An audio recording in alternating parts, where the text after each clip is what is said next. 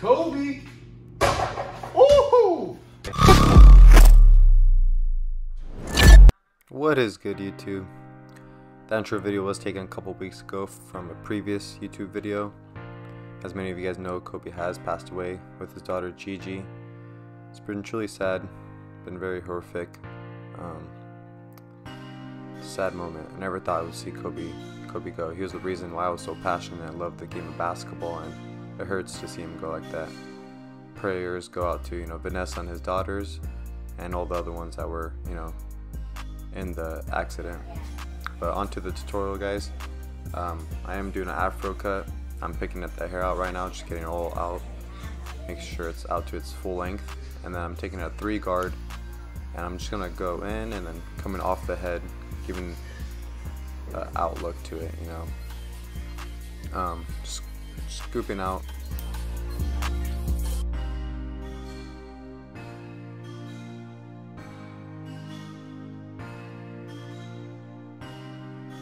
And I'm just gonna go ahead and do that, you know, on the sides and the back.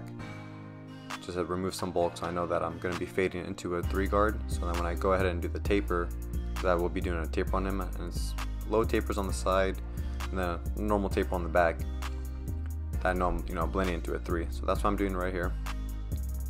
And then I'm going ahead and taking my gammas trimmers. I'm just putting my bald guideline in. A little bit of you know, just kind of a little bit below the top of the ear. And usually when I'm doing low tapers like this, I like to put in the the C cup just so I could see where I'm fading. And you know, go ahead and bald them out. And I'm going to go ahead and move on to my 2 guard. That's closed. I'm just going to clear off some more bulk. So now i have set the 3 as the base and now I'm fading the 2 into the 3. And I'm going to go ahead and take my, I believe this is the 0 guard on the Andis uh, system. And that's open and I'm just flicking out into that 2. And I went ahead and closed it down. Just flicking out that that bottom line.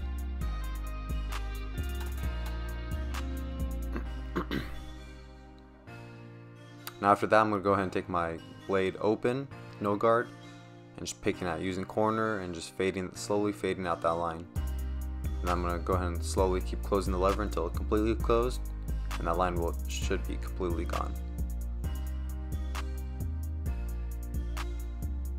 Now you know there are some areas that are a little bit dark that you can see.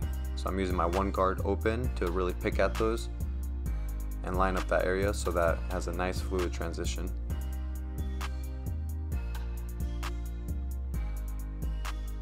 Since we kind of have the hair laid down shorter, uh, I did go ahead and re reline up the C cup just so I get sharpened. Now I'm just doing detail work, picking out the dark spots.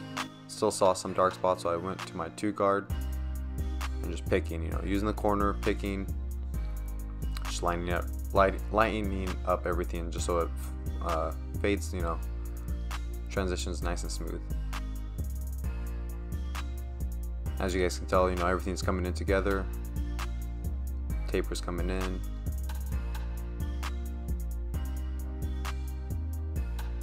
Just a lot of detail work. You know, you have your steps just to get through to clear off everything and after that you just go in and detail go to the previous guard you always want to go to a guard that you know will take off some length but not too much just so you really know so like I usually go to my one guard open I'll play with that if I don't see it taking hair off I'll go down to my zero guard open and then I'll continue the steps until the line is faded and scissor over comb is my one of my favorite techniques helps soften up the fade really nicely but without taking off too much. So that's what I do a lot of my work. Now we're moving on to the back. Uh, just a normal taper on the back. So I'm balding them out.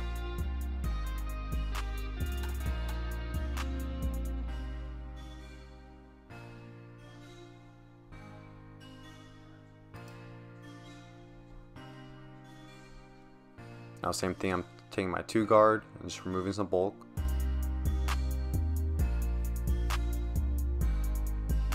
Make sure always comb after you do your strokes, just so you know all the hair is taken off and there's a clear canvas.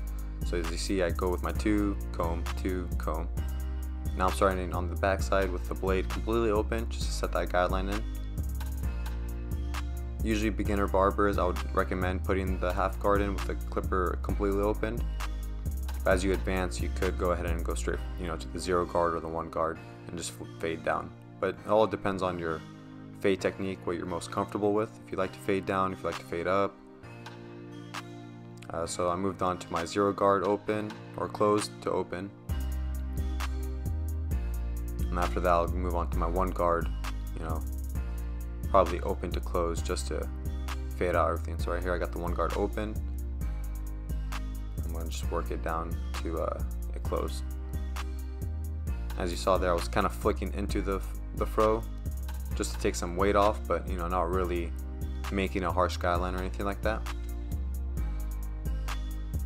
Now I'm going ahead and putting in the back line just so I could really see the fade.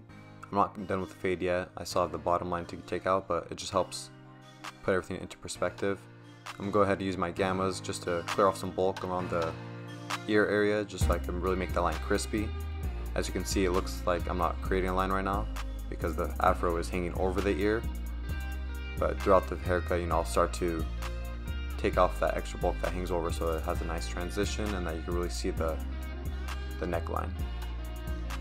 See here, I'm just going ahead and freehanding, taking all that excess bulk out, and boom. As you can tell now, the line looks sharp and you can see it, there's no excess hairs hanging over. See on this side, you can see the hair hanging over on the ear. I'll go ahead and freehand that just to take it off.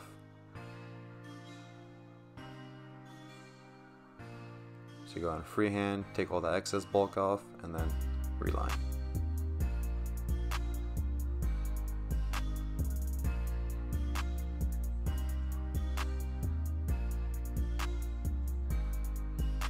Go ahead and use the shaver just to get the skin completely bald. And now it's time to attack that bottom line. Go, ahead. I'm gonna go ahead and start with the blade completely open because that's what we start with, start off with from the beginning. And then we're gonna slowly close that. So there we go. We moved down halfway. Just playing with the lever there, and then we're gonna go completely close and remove that very bottom line. And just trust the process. Know where you left your last guideline, and know that you know you can pretty much get close to that previous skyline. Everything is in millimeters, so it's very tight. So you have to move up the fade in order to get a nice transition.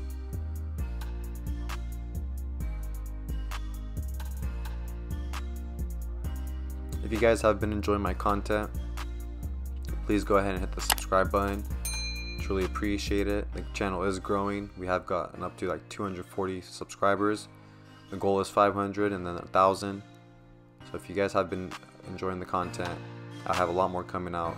Please go ahead and hit that subscribe button. Now we're moving on to the other side of the taper. And you know, same ball guideline, a little bit below the top of the ear. And then it's going to be the same steps, you know, put in the arch. And you guys could just go ahead and follow along from here.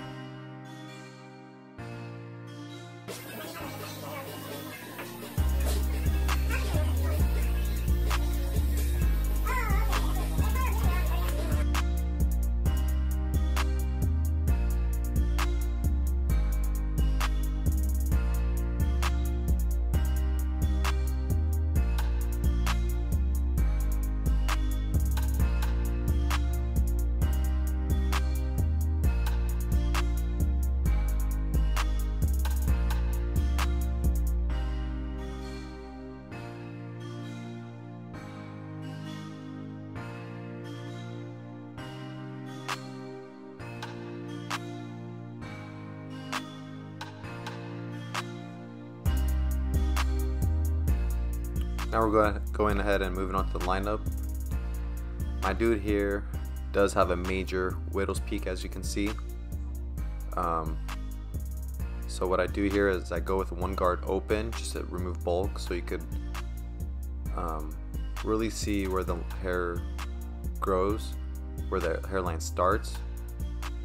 So as you can see in the middle it's very heavy and then when you go to the sides you can see how it kind of goes back obviously the widow's peak. So I'm just taking off that top widow's peak and not pushing anything back on the sides. So I'm taking it where it's the fullest on the sides and just coming across and taking off that widow's peak. And I'm going to move from the middle to his right side and then I'm going to follow that to the other side.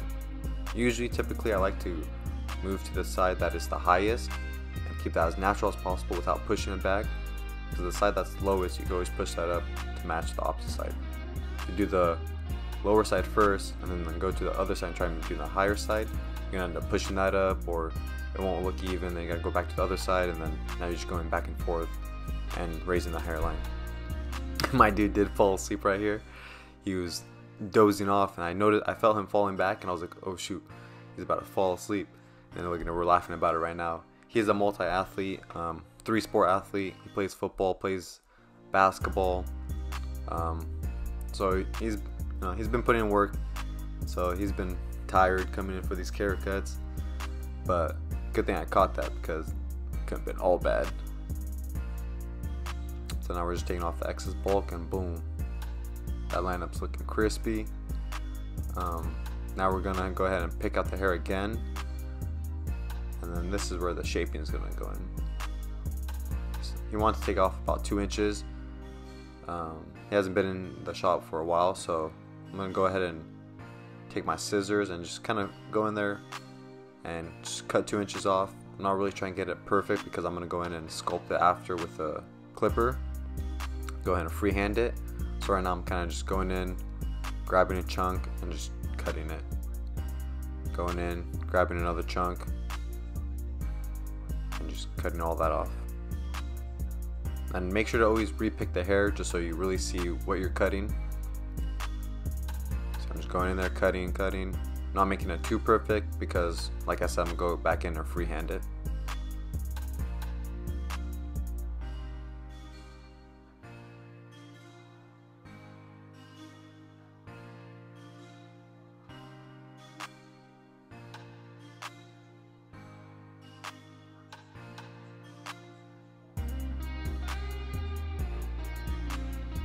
I didn't worry too much about the sides because we did go in there with a 3 and scooped out. So that's already kind of shorter. I'm just mainly focusing on the top of the head and then a little bit around the parietal ridge area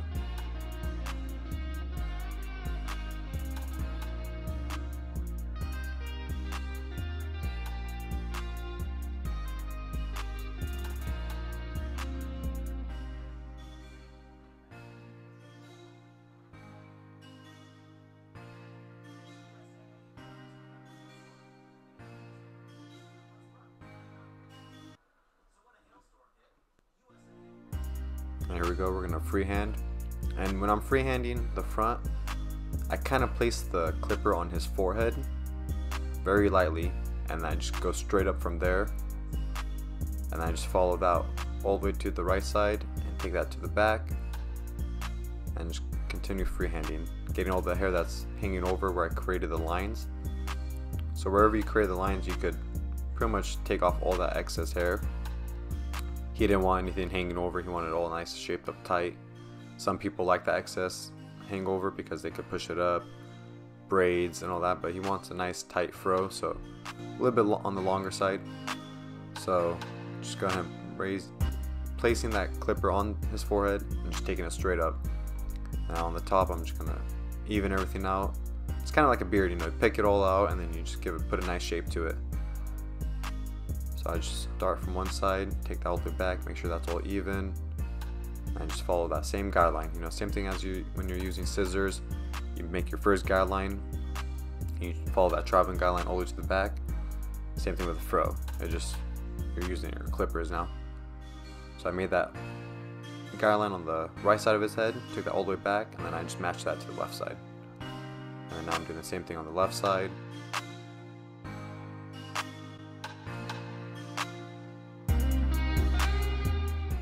Once I get pretty much it all shaped up, now we're doing the back. Once I get it all shaped up, I'm gonna go ahead and re-pick it out because you do want to pick it out, you know, a couple times because it's like a beard. And you sculpt it, you know, shape it up the first time, and you don't brush it out or pick it out, there's gonna be longer hairs and shorter hairs, and it won't be completely even. So after I do the whole backside, I'm gonna go ahead and re-pick it and go over it all again.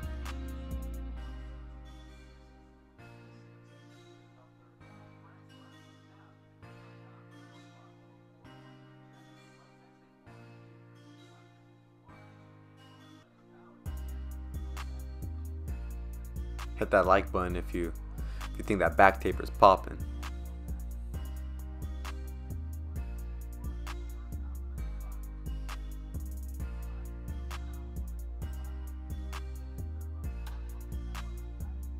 So here we go, we're just repicking it out and just repeating that same process again.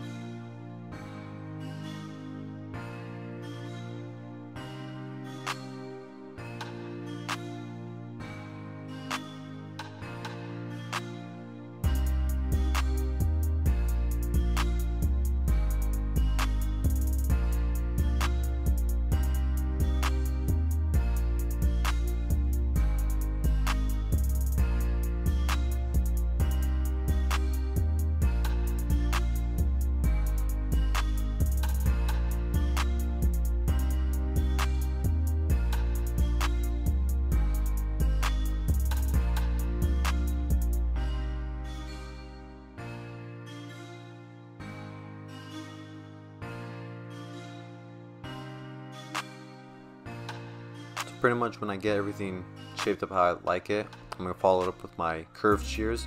If you don't have a set of curved shears, you have to get some. They're great for beards, they're great for afros. Just gonna go ahead and this is where the detail comes in and where you get it really nice and tight. And now I'm just following, you know, what I do with my clippers. Making sure I get everything nice and even, nice and tight, has a good shape to it. I'm just following that all around the head.